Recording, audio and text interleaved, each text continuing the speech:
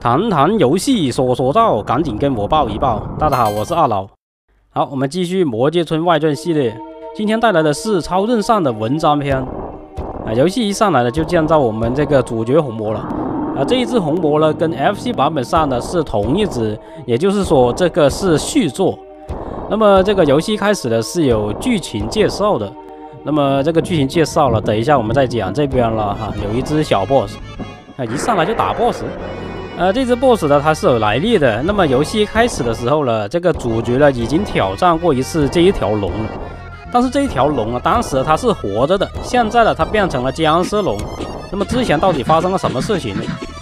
等一下我再慢慢道来。这边呢先干掉这条龙。啊，这条龙啊只是给你呃熟悉这个操作什么的吧，反正就是一个开场了。好，那么我们的主角干掉这条龙之后了，逃出了这个竞技场。然而，这条僵尸龙呢，它还没有挂掉。那我们给它最后一击吧。啊，一个头穿过了一个洞，可惜这个不是那个头啊，是一个龙头。就给它，飞起来直接射就行了。好，干掉这条僵尸龙之后呢，会得到一个生命最大值加一的道具。啊，现在呢，我们就有五滴血了。好，接下来这个主角的正式开始冒险。那么现在呢，我们就可以开始讲一下啊，游戏开始那段剧情到底说了什么？啊，故事背景说的是有一天呢，有六枚啊文章呢掉入了这个魔界，传说中收集到所有的文章之后呢，就会得到无限的力量，所以在魔界的这些怪物啊，全部都争抢这些文章。那么在最后啊，我们的主角火焰布兰德他收集到了五枚文章，最后他挑战刚才那条龙啊，就获得了最后的天之文章。就在这个时候了，出现了一只恶魔偷袭了我们的主角，啊，就这样好不容易凑齐的六枚文章了，又散落在这个魔界了。于是主角呢又要重新收集这六枚文章，啊，大概就是这么一个故事吧。然后这边呢是一个小 boss 战，呃，这只小 boss 呢是一个石头变的，呃，这 boss 呢需要我们自己去锤它，这个石像才会出来。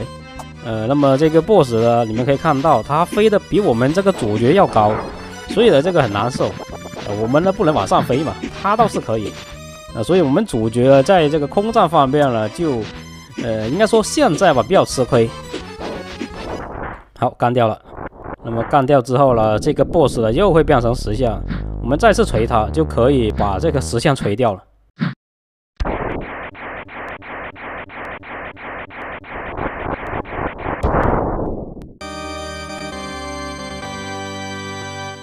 好，这里呢又掉了一个加血量上限的道具，呃，这一代的这个血了很多，呃，但是呢，这个游戏难度呢其实并不低。然后接下来这边呢是本关的后半关，呃，这个游戏的系统呢跟 FC 版本呢有点类似，啊，但实际的玩法呢还是有一些差别的，呃，我觉得比较接近于那个恶魔城刻印，我有点那种感觉。然后这里跳下来，这里藏了一个空的尿壶。那么游戏呢，就是有很多这种道具要收集的，所以呢，我这个是一个全收集的一个流程。那么游戏呢，有好几个结局，呃，这个结局呢，跟你收集某一些东西是有关的，比如说这个文章啊，还有这个护身符，啊，这两样东西呢，就是会影响这个游戏的结局。结局呢有三个，就看你能不能收集齐了。啊，那么我这个是全收集流程，也就是所有的隐藏道具啊都会找到。啊，其实呢，要打这个完美结局呢，是不需要全收集的啊，所以呢，你们很难得看到我做一个全收集的这么一种流程。好，这里呢有一只 boss，啊，这只 boss 呢跟我们的主角有点类似啊，难道他也是红魔吗？啊，也许是吧，但是呢，他的皮肤并不是红色的。啊，那么这只 boss 呢叫做阿尔玛将军，呃，他好像是那个偷袭我们主角那只恶魔的手下吧，我不太清楚。啊，对了，忘了介绍啊，偷袭我们那只恶魔叫什么？他叫做方阵啊，他就是游戏的最终 BOSS 了。啊，那么这边呢，我们先干掉这个将军。哎，你们看到了吗？这只 BOSS 呢是可以往上飞的。啊，我们主角为什么不行呢？我们也是有翅膀的啊，这个太不平衡了吧？所以呢，像这种空战呢，我们非常吃亏，我们只能在下面躲，又不能飞上去打他。啊，所以打这种飞行类的 BOSS 呢会比较的墨迹啊，因为他们这个行动规律呢是比较随机的。好，干掉了，但是呢他并没有死啊。那么这个将军呢过来挑战我们的主角，可能是想证明啊比我们自己强大吧。啊，但是呢这里很奇怪，这一只 BOSS 呢，你当你打死他之后了，他就会把之前呃他的 BOSS 抢走的那些文章呢还给我们。那么刚才呢他还给我们这个地质文章。好，接下来我们进入这个大地图了。啊，大地图那里呢是有一点 3D 的效果。好，首先呢，我们先进入这条小镇，这里要切换成这个地质文章。那么我们主角的装备不同的文章呢，会变成不一样的形态。那么这边呢就变成了地质文章这种形态了。这种形态呢是没有翅膀的，我们不能飞。那么这个形态有什么好处呢？啊，一看就明白了，主角可以进行这个冲刺。啊，这个冲刺呢，除了可以加速之外呢，还可以撞掉一些障碍物。啊，等一下就会用到了。那么除了这些好处之外呢，还有一个好处，那就是，呃，主角普通攻击力呢会稍微的高一点点。啊，提高的这个攻击力呢它是有条件的，等一下我们再说。这边呢，我卖血下来啊，吃到这个道具。呃，这个道具呢就是五大护身符之一啊，它是可以提高我们的攻击速度的。为了拿到这个道具，我提前卖了一条命的。啊，这种卖命的操作你们应该相当熟悉了。啊，虽然这个游戏呢是类似于那种恶魔城探索类型的，但是它这种探索呢是呃跟恶魔城不一样的，因为呢它还是那种啊横版闯关，你过了这个场景呢就不能往回走了，不像恶魔城你随时可以往回走，这里啊你只能啊自杀，或者呢你重新走一遍。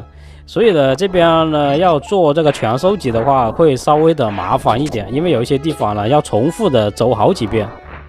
那么我走的路线自然就是比较快的路线了啊，所以呢要尽量的去卖命卖血。好，这边呢直接卖血过来撞开这个门啊，这个门呢就需要这个地质文章来撞开。然后这边呢会比较黑，因为呢这个背景上的那些蜡烛并没有点亮。其实呢可以换成。啊，主角啊，一开始那个状态，那个状态呢是可以点蜡烛的。啊，这里呢就切换成啊一开始那个默认状态。啊，其实呢默认状态上面呢是有五个格子的。呃，这个什么意思呢？其实主角他是自带有这个火之文章，火之文章呃被这个坏人呢分成了五块碎片。我们主角呢自带有一块，那么剩下的四块呢我们还是要收集。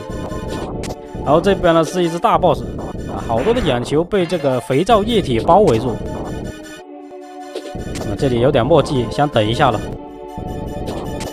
这里呢，应该是要爬到顶才会进行这个 BOSS 战，然后到顶了。那么这只 BOSS 呢，它现在啊藏在这个肥皂液里面啊，现在呢我们打不到它。那么首先呢，我们要先打掉那些眼球，啊，这些小眼球呢会先出来的，然后我们就啊爬在这里射。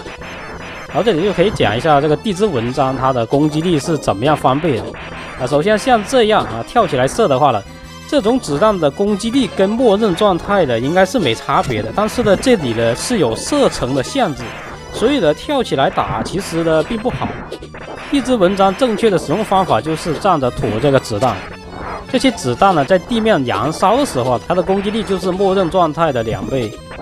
但问题是，这些眼球啊都是在天空的，你很难在地上去打它，呃，所以这里呢只能呃说找机会了。好，小眼球都清了，这个 boss 呢才会出来。好，这个 boss 呢会直接怼过来的。这边呢我们尽量站着打，几下就把它干掉了。啊，这 boss 死完还要跑到中间去死的。好，沉下去了。好，干掉这个 boss 呢，会拿到火之文章的其中一块碎片。呃，这块碎片呢叫做破坏者，啊，它是可以破坏一些啊特殊的地形的。好，我们再次进入这座小镇。啊，这个小镇呢比较复杂，我们要在这里啊来回的进好几遍，因为这座小镇隐藏的东西非常多。然后，这边呢我们可以转一下这些瓶子。啊，刚才瓶子掉出来的是魔界用的钱，然后这个就是我们刚才拿到的这个火之文章的一块碎片了。啊，它可以破坏这种墙壁。然后这里有一个药剂商人，啊，我们买了一瓶药。那么你要买药的话呢，你必须有这个空瓶子。那么游戏里面呢有五个空瓶子，呃，在一开始呢，我们已经拿到一个了，用这个瓶子的可以装一些药。那么刚才呢，我买了一个啊，回到大地图的一个药。啊，买这个药有什么用呢？啊，这个你们应该玩过这个恶魔城啊，有这个回城卷轴嘛。你在这个迷宫里面直接使用就可以回到这个大地图了。然后这边呢，我们还要跑一遍这里。啊，没办法，这一关呢有好几个分支。呃，这边呢我一直转这个门，这个隐藏的门呢，其实呃右边那里还有一条路，等一下我们再走。然后这里切换成这个破坏者，啊，顺便安装这个药剂。你们可以看到右上角那里是有三个框框的，啊，第一个就是文章，第二个呢就是这个瓶子了。瓶子就是使用这种药剂的，呃，然后呢，还有一个最后的就是这个护身符了。护身符呢，就是一个辅助的道具，啊，那就是通常的加攻击力、加攻击速度啊、加防御力这一类咯。好，我们再次回到这边，这边呢应该还有一个加血量上限的道具，拿到这个就可以走了。这边呢应该是探索完毕了。好，就是这个瓶子了。这里呢又加了一点，然后呢，我们直接传送回这个大地图。呃，如果没有这个传送的话，那怎么出来呢？你可以跑到刚才那只 boss 那个地方，你跑到这个 boss 的地方呢，它就会出来。好，我们最后一次进入小镇了。这个右边呢还有一只 boss 的。呃，游戏里面钱呢只能这么收集，当然了，我们不需要太多的钱。呃，你想要钱的话，可以在这里刷，这里刷也是挺方便的。那么这个钱呢，它是有三种，我印象中应该小的是一块，还有十块跟三十还是五十。然后这里呢买最后的一个药啊，这种药了一百四十块钱。那么它有什么作用呢？它可以让我们主角的这个血量回满。啊，这个至少呢要买一瓶啊，因为后面的 BOSS 呢其实并不好打。你有五个瓶子的话，你可以把五个瓶子都装满这种啊，但是要买满的话呢，需要很多钱，七百块钱吧。这个钱不少了，你得刷一刷。当然，你有技术的话呢，不需要买那么多。然后这边呢，我又开始卖血了，因为这里水底呢有一个空的尿壶。好，这里呢我们又卖掉了一条命。啊，为什么要这样拿这个道具呢？那么这个道具正常是怎么拿的呢？正常的话呢，我们首先要找到水之文章。那么用这个水之文章之后啊，主角就会变成可以在水中活动的这个状态。这种状态在水下面呢就不会扣血了，但是呢要找到这个水之文章，在游戏的后期这么搞的话呢，你游戏后期再回来这里拿这个东西呢就要浪费很多时间，所以还不如直接卖血拿。然后这里藏着一个血量上限，啊这边呢是我们之前没走过的。啊，虽然我是做全收集，但是呢，这个流程一点都不墨迹的，还是走这种呃速通流程。好，这边 BOSS 上了，有很多的骷髅，看一下是谁。啊，原来也是骷髅，还拿着一把大刀。啊，这只 BOSS 呢不是在天空了，所以呢，我们当然是用这个地之文章来打了，因为站着打的话呢，这个攻击力要高啊。啊，这边呢就没法躲了，直接卖血打吧。这血呢还是刚好够的，呃，那么正常的应该是换回这个正常形态飞起来，啊，这样才可以躲过去。好，又拿到了一个血量上限，这个 boss 呢并没有什么文章啊、碎片之类的。好，第一张图终于打完了，接下来来到这里，这里呢有三根柱子，呃，这个场景呢也是很复杂的，应该是有两条路的。呃，那些打过的关卡呢，你可以无限的打。那这种自由度是不是像刻印呢？啊，所以这个路线的安排呢，就成为了一个很好玩的地方。啊，我为什么要做这个全收集呢？啊，因为我可以安排自己的路线嘛。我玩游戏玩的就是解法呀，怎么合理安排你的路线？啊，我们玩游戏的不能像这个无头苍蝇一样到处乱转。好，这里呢有一些有格子的砖块，这些砖块呢是可以打掉的。啊，里面肯定是有这个隐藏道具的，看看有什么东西。啊，原来是空的尿壶。那么现在我们已经收集到三个尿壶了，还有两个。